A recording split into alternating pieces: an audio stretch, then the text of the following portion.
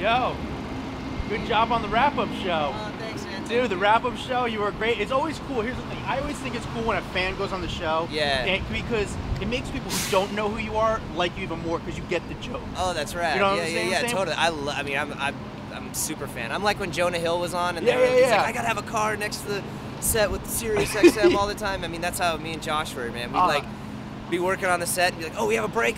Run into the car and listen to Howard, man. But dude, I, everyone's well, these photos you online are going crazy. The, one- the underwear yeah, photos. yeah, yeah, yeah, yeah. Dude, you're pretty.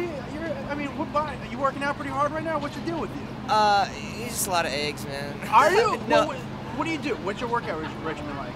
I just, I don't, I just work. I don't know. I just go to the gym and work Try out. healthy? Yeah, I'm not like some crazy health nut. I mean, I don't drink very much, so or at all. So I think that has a lot to just kind of. It makes it easier, I guess. I don't know. Yeah, yeah, yeah. Well, I mean, uh, so is it? Was it a photo shoot for? Uh, Oh, like, the one oh the, one today- Oh yeah, I did a photo shoot yesterday. Sorry, I've, I'm like, Yeah, yeah, yeah. what did I post? I don't even know.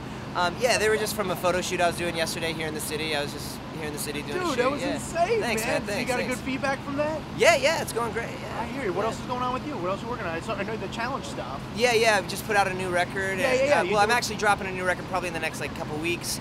Um, and so yes, and then I'm about to go out on tour. Uh, I'm going to the Wis- Wisconsin State Fair, about to play there in Wisconsin, then go out for about a month and go on tour, and then I head uh, come home, and then I'm actually what's really cool is I'm going to Toronto.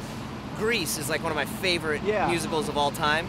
And I get to go be the teen idol in, in Grease, in Toronto, with Janel Parrish and a bunch of really great sick, performers dude. and stuff. Well, so, brother, you're so all over it, the place, man, you know, and you're, you're, you're crushing it, and Thanks, man. physically, Thank you, thank you. Yeah, just trying it, to stay busy, man. I you love know. it, bro. I Thanks a appreciate lot.